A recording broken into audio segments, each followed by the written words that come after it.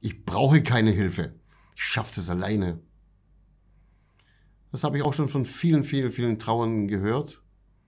Und ich verstehe das in dem Moment auch, wenn, wenn, wenn Menschen, die in eine, eine, tiefe Trauer fallen oder gefallen sind und man möchte Hilfe anbieten, da ist so ein, ein gewissen, man möchte es nicht preisgeben, dass man Schmerzen erlebt. Man will nicht preisgeben, dass man eine Schwäche hat. Also Menschen, die im ganzen Leben, also im prinzipiellen Leben auch Problem, Probleme haben, äh, Dinge zuzugeben über sich selbst, sind meistens die Menschen genau das von sich geben. Ich brauche keine Hilfe, ich kriege das auch alleine hin. Am Ende werden diese Menschen aber feststellen, ohne Hilfe geht es leider nicht. Man braucht in der Trauer, es ist leider so, man braucht in der Trauer immer jemanden an der Hand, der einem Impulse vermittelt, wie es weitergehen kann.